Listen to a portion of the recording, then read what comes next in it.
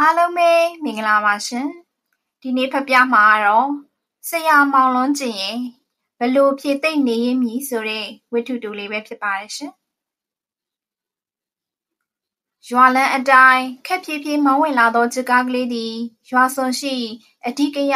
ခန်းကော်ပင်အိုကြီးအုပ်မိုးနေသောခြံဝင်းတစ်ခုရှိမှရက်လိုက်သည်ဒီအိမ်မဲဖြစ်မယ်ထင်တယ်ခမကားပေါ်မှာပဲစောင့်နေရပါ ဂျပန်အမျိုးသားကြီးက ကားဒရိုင်ဘာကို မြန်မာလိုပြောရင်း ကားပေါ်မှဆင်းလိုက်၏လက်ရဘက်နဘေးမှလွယ်ထားသည့် သူ၏ခီးဆောင်ပြေးအိတ်ကိုပြေး၍ပခုံးမှလွယ်လိုက်ပြီး ခြံစည်းရိုးတကားဝမှရက်လျက် အိမ်ခြံတွင်းသို့ လှမ်းကြည့်လိုက်သည် လေးပေသုံးကန်းတထက်အိမ်အိုကြီးအိမ်ရှိကပြင်ထက်တွင် သူ၏အသက်လောက်ပင်ရှိမည်60ကျော်အရွယ် လူကြီးတဦးမှာ ဓမ္မတစ်ချောင်းနှင့် နှီးဖြာနေသည်ကို တွေ့ရသည် ကားရဲ့တန်ကြားလိုက်ကလေးကအိမ်တွင်းမှထိုလူကြီးသည်လည်းအိမ်ချမ်းဝမှကားစီသို့လှမ်းကြည့်နေသည်ဒီအိမ်ဟာတကြီးဟောင်းဦးဆန်ခရဲ့အိမ်ဟုတ်ပါသလားခင်ဗျာဂျပန်လူမျိုးကြီးကချမ်းဝမှလှမ်း၍မေးလိုက်သည်အိမ်ထဲမှာလူကြီးကချမ်းဝစီသို့စူးစိုက်အကဲခက်ကြည့်ရင်ဟုတ်ပါတယ်တကြီးဦးဆန်ခတို့အိမ်မှာပဲဟုဖြေသည်ကျွန်တော်အိမ်ထဲဝင်ခွင့်ပြုပါ ဧည့်သည်လူကြီးက ခွင့်တောင်းလိုက်သည် လာပါလာပါ အိမ်ပေါ်ကိုကြွပါ အိမ်ရှင်လူကြီးက လှမ်းခေါ်လိုက်ပြီး အနီးမှရှိနေသည့်ပစိုးစုပ်တစ်ထဲနှင့်ကပြင်းထက်မှခင်းထားသည့်တင်မြူးဖြော်ကြောလေးကို ဖုံခါလှဲကျင်းလိုက်လေသည် ဧည့်သည်ကြီးက ဒီတော့မှ ခြံတွင်းသို့ ဝင်လာသည် သူဘတ်တူဖြင့်ဖနက်ကို အိမ်အောက်မြေပြင်မှာချွတ်ထားခဲ့ပြီးလေကားတဖွဲစိုက်ထားသည့်စင့်တန်းကလေးကို နင်းကျော်လျက်ကပြင်းပေါ်သို့ တက်လိုက်သည် အိမ်ရှင်လူကြီးညွှန်ပြသည့်တင်မြူးကလေးပေါ်တွင်တင်မလီခွေထိုင်လိုက်သည်အိမ်ရှင်လူကြီးကမနီးမဝေးမှပြန်ထိုင်ရင်ဘသူနဲ့တွေ့ကြလို့လဲခမညာဘာကိစ္စများရှိပါသလဲဟုမေး၏အော်ကိစ္စကတော့အထူးထွေမဟုတ်ပါဘူးကျွန်တော်ကဂျပန်နိုင်ငံသားတစ်ယောက်ဖြစ်ပါတယ်ကဘာလက်ခီးတဲ့အဖြစ်နဲ့မြန်မာပြည်ကိုလာခဲ့တာပါပဲကျွန်တော်ရန်ကုန်မြို့ကတဆင်ငပလီကန်းကြီးကိုမနေ့ကရောက်လာပါတယ် ဟိုတစ်ချိန်တုန်းကလည်းကျွန်တော်မြန်မာပြည်ကိုတစ်ခေါက်ရောက်ခဲ့ဘူးပါတယ်ကျွန်တော်ကမြန်မာလူမျိုးတွေကိုခင်မင်စိတ်ရှိတယ်မြန်မာလူမျိုးတွေနဲ့လည်းအတိမိတ်ဆွေဖြစ်ချင်ပါတယ်ကျွန်တော်မြန်မာစကားကောင်းကောင်းပြောတတ်ပါတယ်မြန်မာစာသင်ဘူးတယ်အိုဆာကာမြို့ကကျွန်တော်အိမ်ကိုမြန်မာမိတ်ဆွေတွေတော်တော်များများရောက်ဖူးကြပါတယ်ဒီရွာလေးဟာလွန်ခဲ့တဲ့ဒုတိယကမ္ဘာစစ်ကြီးကာလအတွင်း ဂျပန်စစ်သားတွေအတော်ကြာစစ်စခန်းချသွားမှုတဲ့ရွာလေးတစ်ရွာဖြစ်ကြောင်းကျွန်တော်စုံစမ်းသိရှိရပါတယ်။ဒီရွာမှာဂျပန်စစ်သားတွေတော်တော်ကြာကြာနေသွားမှုတယ်ဆိုတော့သူတို့နဲ့ပတ်သက်ပြီးမှတ်မှတ်သားသားသတိရစရာအဖြစ်အပျက်လေးတွေကြံကောင်းကြံရင်မှာပဲလို့ထင်ပါတယ်။ကျွန်တော်ကဂျပန်လူမျိုးတဦးအနေနဲ့အဲ့ဒီအဖြစ်အပျက်တွေကိုစိတ်ဝင်စားမှုရှိလို့ပါ။အဲ့ဒီစစ်ချိန်တုန်းကရွာမှာတကြီးလောက်ခဲ့တဲ့ဦးဆန်ခါဆိုတဲ့သူဟာ ဂျပန်တွေနဲ့အဆက်အသွယ်ရှိခဲ့တာမို့သူ့ကိုမေးမြန်းစုံစမ်းကြည့်သိနိုင်ပါလိမ့်မယ်လို့တန်တွဲမြို့ကလူတချို့ကကျွန်တော်ကိုညွှန်ကြားလိုက်ပါတယ်။ဒါကြောင့်ဒီနေ့မနက်မှာပဲမြို့ထဲကကားတစ်စီးငှားပြီးဒီဝါလေးကိုခုလိုရောက်လာခဲ့တာပါပဲ။အိမ်ရှင်လူကြီးကသဘောပေါက်သွားဟန်နှင့်အော်အော်ဟူဆိုပြီးခေါင်းတစ်ဆက်ဆက်ညှိသည်။ပြီးတော့မှတကြီးဦးဆန်ခါရောသူ့ဇနီးပါဆုံးသွားတာတော်တော်တောင်ကြာသွားပါပြီ။ ဟုပြောသည်ဧည့်သည်ကြီးကခဏတွေဝေသွားပြီးမှပြောသည်အင်းဒါဆိုရင်တော့လေခမည်းကိုပဲပြောပြခိုင်းရတော့မှာပေါ့လေခမည်းကလည်းဒီရွာသားပဲမဟုတ်လားအဲ့ဒီခေခါကိုမှီလိုက်မှာပေါ့ဂျပန်စစ်သားတွေနဲ့ပတ်သက်ပြီးအမှတ်ရစရာတွေကြုံတွေ့ခဲ့မှာပေါ့နော်အင်းရှင်လူကြီးကဖြင်းညင်ညင်သားစွာခေါင်းငိမ့်လိုက်ပြန်ကတက်ပြင်းမတိမတာချလိုက်သည် ဂျပန်စစ်သားတွေနဲ့ ပတ်သက်လို့ ဒီရွာမှာ မှတ်မှတ်သားသားကြံရစ်တဲ့ အဖြစ်အပျက်တွေ ရှိခဲ့ပါတယ်။ခုလို ဂျပန်အမျိုးသားတယောက်ရှိမှပြောပြရမှာ မျက်နှာပူစရာတော့ ကောင်းပါတယ်။ဟုတ်ပါတယ်။ဒုတိယကမ္ဘာစစ်ကြီးအတွင်းက ဂျပန်စစ်သားအများစုဟာ မြန်မာလူထုအပေါ်မှာ အတော့ကို ရိုင်းရိုင်းပြပြ ဆက်ဆံကျင့်သုံးသွားခဲ့တာ ကျွန်တော်တို့အားလုံး အသိပါပဲ။ဒီအတွက်လဲကျွန်တော်တို့ ဂျပန်အမျိုးသားတွေဟာ ခုချိန်ထိစိတ်မကောင်းဖြစ်ကြရစိတ်တိခိုက်ဝမ်းနည်းရမျက်နှာပြက်ကြရတော့မှာပဲအင်းရှင်လူကြီးကအိမ်အတွင်းမိဖို့ဆောင်ဘက်ကိုလှည့်ကြည့်လိုက်ပြီးမိန်းကလေးရေရင်နှွေးချက်ယူခဲ့ပါငရင်ကုန်းချောက်အစ်စ်လဲဖောက်ခဲ့စမ်းမအောင်ဧည့်သည်ကိုကျွေးရအောင်ဟုအော်ပြောလိုက်သည်အင်ရှင်လူကြီးကစကားဆက်ပြောသည်ဒုတိယကဘာစစ်အတွင်းဟာဆိုရင်ဒီရွာလေးဟာ တန်တွဲမြို့နယ်အတွင်းမှာ အတော်အရေးပါတဲ့နေရာဒေသလေးတစ်ခုပါပဲရွာလေးကရခိုင်ရိုးမတောင်ချီရင်မှာရှိနေပြီးမြန်မာပြည်မကြီးဘက်ကိုထွက်တဲ့တောင်ကြားလန်းတကားဝပေါက်တစ်ခုပဲဒါကြောင့်မို့ဒီရွာလေးမှာဂျပန်စစ်ခုံရုံးလေးတစ်ခုဖွင့်ပြီးတက်စိတ်လေးတစ်စိတ်အမြဲဆောင်ထားတယ်ဒီတက်စိတ်ကိုအုပ်ချုပ်ဖို့မြို့ပေါ်ကဂျပန်ကင်ပီတိုင်းလက်ထောက်စစ်အရာရှိတူအမြဲထားတယ်။อืม ဒီရွာလေးဟာလည်းတခြားမြန်မာတောရွာတွေလိုပဲဂျပန်စစ်သားတွေရဲ့အနှိမ့်ဆက်အညှင်းမဲ့တံကိုအတော်ပဲခံခဲ့ကြရတယ်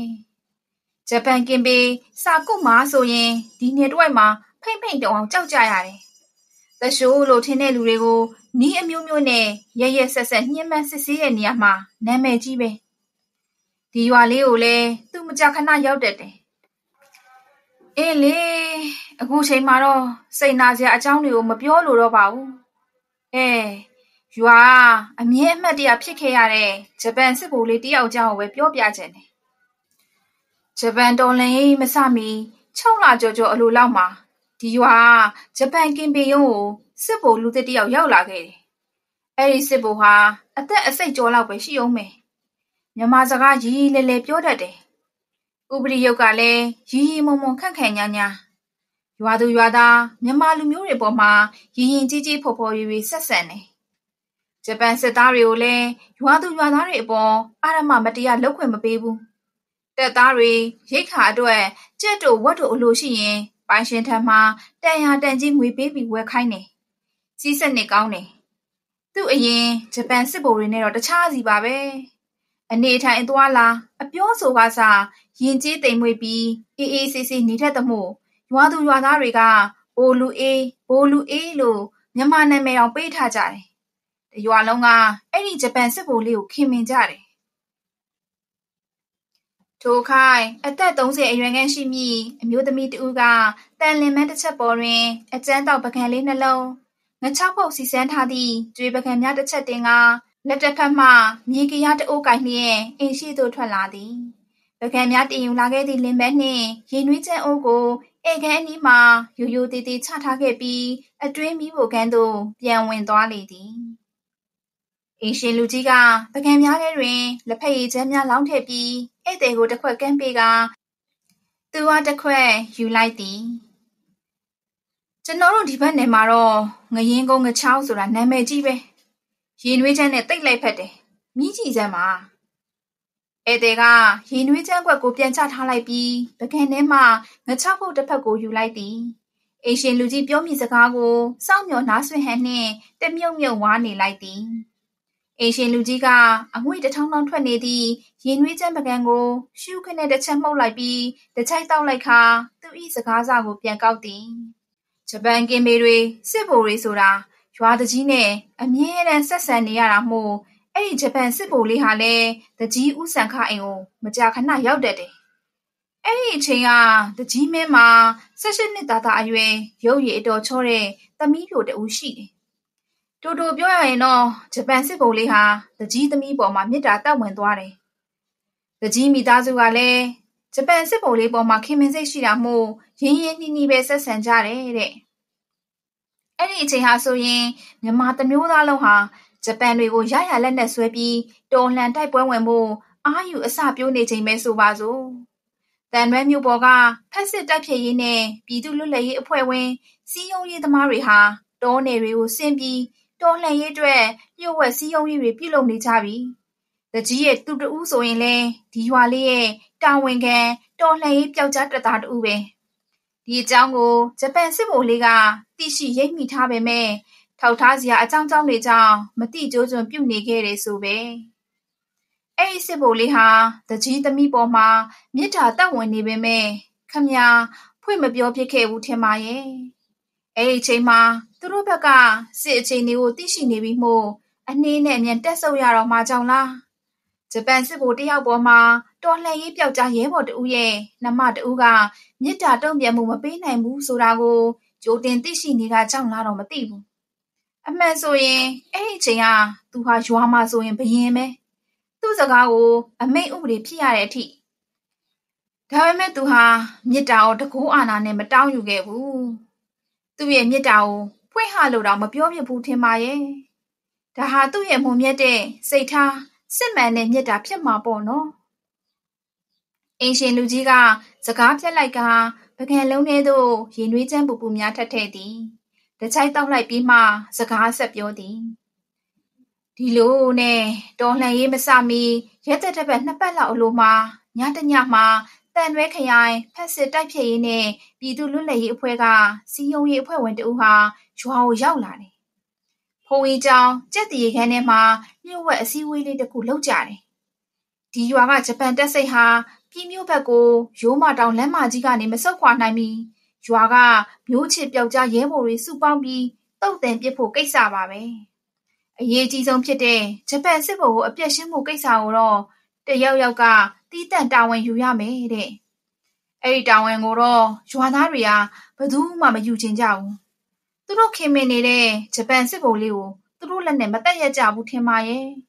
နောက်ဆုံးမတော့အဲ့ဒီတာဝန်ကိုရွာသူကြီးကသူယူမယ်လို့ကတိပေးလိုက်တယ် ဒီလိုနဲ့သတ်မှတ်ထားတဲ့ညမှာဂျပန်တပ်စိတ်လေးတစ်ခုလုံးကိုတော်လှန်ရေးပြောက်ကြားတပ်သားတွေကဝိုင်းဝန်းတုတ်တင်ပစ်လိုက်ကြတော့တာပါပဲဧည့်သည်ကြီးကအလွန်စိတ်ဝင်စားစွာနားထောင်နေရင်းကစစ်ဗိုလ်လေးဟာတကြီးမင်းရဲ့လက်ချက်နဲ့သိဆုံးသွားတာပေါ့နော်ဟုမေးလိုက်သည်ဒီတော့မှအိမ်ရှင်လူကြီးအသားပါပါပြုံးလိုက်ပြီးသူဟာသူကျင်းနဲ့နှစ်သိမ့်ဟန်နှင့်အတန်ကိုအနှဲငယ်နှိမ့်၍ပြောသည် ဂျပန်စစ်ဗိုလ်လေးကတော့လွတ်မြောက်သွားပါတယ်။အခင်းမဖြစ်မီတညမှာတကြီးရဲ့သူ့ရဲ့တူရဲ့ဂျပန်စစ်ဗိုလ်ကလေးကိုမြန်မာအဝတ်စားဝတ်ပေးရုပ်ဖြက်စီပြီးဒီရွာကနေအထက်ဆယ်မိုင်ကြော်ကြော်လောက်ဝေးတဲ့ရေကောက်ဆိုတဲ့ရွာလေးအယောင်သူတို့ကိုယ်တိုင်လေနဲ့လှော်ပြီးလျှို့ဝှက်စာလိုက်ပို့လိုက်ကြတယ်။အဲ့ဒီရွာရောက်ရင်ရိုးမတောင်ကြားလန်းနဲ့အလွန်နီးကပ်နေပြီးမှဂျပန်တပ်မကြီးရှိနေတဲ့ဗရောင်းပြည်ဘက်ကိုရောက်နိုင်ဖို့ အလွန်လွယ်ကူသွားပြီလေ။အဲဒီကိစ္စကိုနောက်မှရွာသားချို့ရိပ်မိကြတယ်။အဲဒီလိုဂျပန်စစ်ဗိုလ်လေးအသက်ချမ်းသာရရသွားတာကိုပဲသူတို့ကြိတ်ပြီးဝမ်းသာကြရတယ်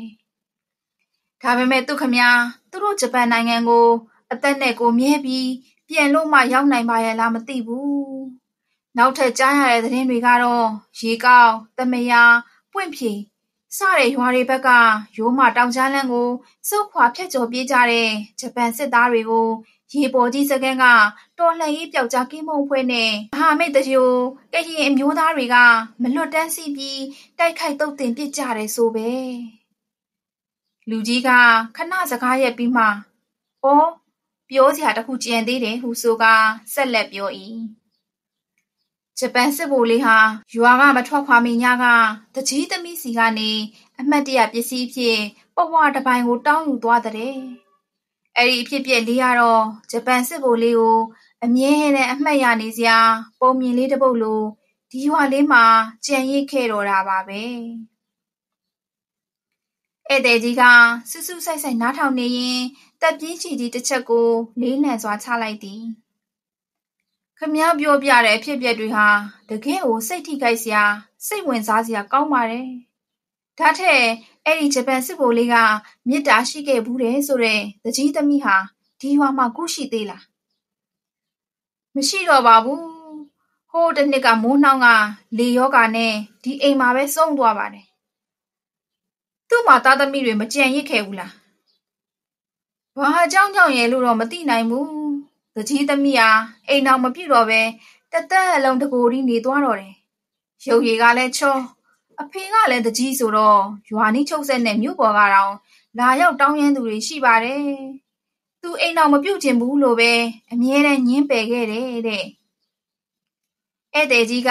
ခေါင်းတဆက်ဆက်ညှိသည်။အတော်ကြာတိတ်ဆိတ်နေပြီးမှတကြီးဥဆန်ခါရဲ့တူဆိုတဲ့သူရောအခုရှိသေးလားဟုမေးပြန်သည် ဦးစံခရဲ့တူကဂျပန်တော်လှန်ရေးကြီးစတော့အထက်ကပေးတဲ့တာဝန်အရ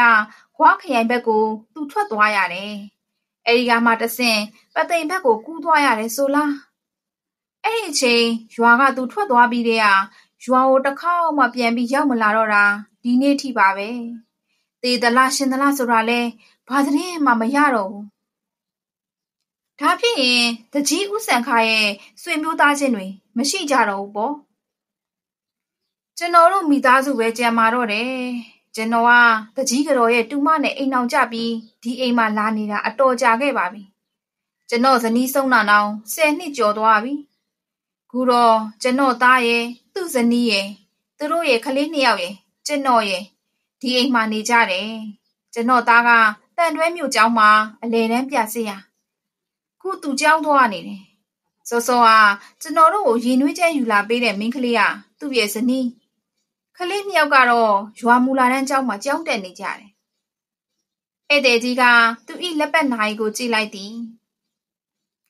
ကျွန်တော်အခုလိုပြောပြတဲ့အတွက်အထူးကျေးဇူးတင်ပါတယ်ကျွန်တော်လည်းဒီနေ့ညနေ3နာရီခွဲလေရင်နဲ့ရန်ကုန်ကိုပြန်ရမယ်ပြည်တွင်းနေခွေရက်ကရက်သက်တစ်ပတ်တစ်ပတ်ပဲရပါတယ်ကျွန်တော်တို့ခုလိုမိတ်ဆွေဖြစ်တည်ကျွဲရတဲ့အထိတ်မှန်နေနဲ့ခမ ्या ကိုလက်ဆောင်တစ်ခုပေးခဲ့ခြင်းနဲ့လက်ခံပါ ဧည့်သည်ကြီးကသူ့၏နဘေးတင်မြူးဖြာပေါ်မှာချထားသည့်တရေအိတ်ကိုဆွဲဖွင့်လိုက်ပြီးနောက်ပစ္စည်းတစ်ခုကိုထုတ်ယူလိုက်သည်။ခြောက်လက်မသားသားအရွယ်စားအလျားရှိရှိညီညိုရောင်စက်ကူကျုပ်တစ်ခုဖြစ်သည်။ကျုပ်ကလေးကိုဖွင့်လိုက်ရာအထဲတွင်တန်မဏိရောင်ပြောင်းလဲတောက်ပနေသောဂျပန်နိုင်ငံလုံးအကောင်စားလက်ပတ်နာရီတစ်လုံးကိုတွေ့ရသည်။ကျုပ်ကလေးကိုပြန်ပိတ်လိုက်ပြီးဧည့်သည်ကြီးကအင်ရှင်လူကြီးလက်ထဲသို့လှမ်းပေးလိုက်လေသည်။ အိမ်ရှင်လူကြီးကအံ့ဩဝမ်းသာလွန်လှသည့်မျက်နှာအမူအရာနှင့်နာရီကျုပ်ကလေးကိုလှမ်းယူလိုက်ပြီးကျွန်တော်အများကြီးကျေးဇူးတင်ဝမ်းသာမိပါတယ်ဟုအတန်တုံတုံကြီးနှင့်ပြောသည်ဧည့်သည်ကြီးကထိုင်ရာမှထလိုက်ပြီးသူ၏လွယ်အိတ်ကိုပခုံးမှပြန်ချိတ်လွယ်လိုက်သည်အိမ်ရှင်ကသူ့ကိုလက်နှစ်ဖက်နှင့်ရင်းရင်းနှီးနှီးအားရပါရစုပ်ကိုင်လှုပ်ရမ်းလိုက်ပြီးပြောသည်တချင်ကဖြစ်ခဲ့ရတဲ့လူမျိုးရေးမုန်းတီးစိတ်နာစရာတွေကို ခုချိန်မှာအားလုံးမေးဖြောက်လိုက်ဖို့ဂျပန်လူမျိုးတဦးအနေနဲ့ကျွန်တော်အထူးတောင်းပန်လိုပါတယ်။တကယ်တော့ကျွန်တော်တို့အာရှတိုက်သားတွေဟာအားလုံးဆွေမျိုးသားချင်းတွေပဲမဟုတ်လား။အမြဲတမ်းတစည်းတလုံးနဲ့ချစ်ချစ်ခင်ခင်နေကြရမှာပဲမဟုတ်လား။ကဲကျွန်တော်ကိုခွင့်ပြုပါအောင်။အရှင်လူကြီးကနိုင်ကျုပ်ကလေးကိုလက်မှာကိုင်းနဲ့ခြံဝကားရှိရာသို့ထွက်ခွာသွားသောဧည့်သည်ကြီးကိုငေးဆိုင်ကြည့်နေမိသည်။ ကားရှိခန်းသို့ဧည့်သည်ကြီးတက်သွားပြီးနောက်ကားဆက်နိုးသံကြားရတော့မှတစုံတစ်ခုကိုသတိရဟန်နှင့်အော်ခဏလေးခဏလေးနေပါအောင်ဟုလှန်အော်ရင်းအိမ်ပေါ်မှကဒိုက်ရိုက်ဆင်းလာကကားအနီးသို့ခက်တုတ်တုတ်လျှောက်လာသည်စကားကောင်းနေလိုက်တာနာမည်တော့ကျွန်တော်မမေးမိဘူးကျွန်တော်သာเจ้าကပြန်ရောက်ရင်စုံစုံစိတ်စိတ်ပြောပြနိုင်အောင်လူကြီးမင်းရဲ့နာမည်တစိတ်ပြောခဲ့ပါဦး ဧည့်သည်ကြီးကတစုံတစ်ခုကိုတွေးတောဟန်နှင့်ဘာမှမပြောဘဲတိတ်ဆိတ်ငြိမ်သက်နေသည်ခဏကြာမှပြောသည်ကျွန်တော်ရဲ့ဂျပန်နာမည်ကိုခမည်းတော်အခေါ်ရအမှတ်ရခက်ချင်ခက်နေပါလိမ့်မယ်ကျွန်တော်မှာမြန်မာနာမည်ရှိပါတယ်။အော်မြန်မာနာမည်တော့ရှိသလား။ဒါဖြင့်လည်းမြန်မာနာမည်ပဲပြောပါ။ဧည့်သည်ကြီးကကားမှန်မှကြော်၍ စပားလယ်ကွင်းများအစုံအဝေးမှရှိနေသည့်ပြမှောင်းသောရခရိုးမှတောင်တန်းကြီးများစီသို့မျက်ရည်ပြည့်ရှင်းနေသည့်မျက်လုံးများဖြင့်လှမ်းမြော်ကြည့်နေပြီးပြင်းညင်းစွာပြောလိုက်သည်ကျွန်တော်ရဲ့မြမမိတ်ဆွေအချို့ကတော့ကျွန်တော်ကိုလူအေးလို့ခေါ်ခဲ့ကြဘူးပါတယ်ဧည့်သည်ကြီးစကားကိုကြားလိုက်တော့အခါအိမ်ရှင်လူကြီးကရုတ်တရက်တွေဝေသွားသည်ထို့နောက်မှသူ့မျက်နှာမှာ အံ့ဩဝမ်းသာသည့်အသွင်ကိုတဖြည်းဖြည်းကူးပြောင်းလာကာတစုံတခုကိုပြောဆိုရန်ကြိုးစား၏။သို့သော်သူသည်စကားပြောခွင့်မရလိုက်တော့။စစ်ကားကလေးသည်ရွာလမ်းအတိုင်းမြို့ဘက်သို့အရှိန်နှင့်မောင်းနှင်ထွက်ခွာသွားနှင့်ပြီ။မောင်လွန်းကျင်ရှုမဝမဂ္ဂဇင်းဒီဇင်ဘာ၁၉၈၂ အဆုံးထိနားဆင်ပေးခဲ့တာကျေးဇူးတင်ပါတယ်ရှင်။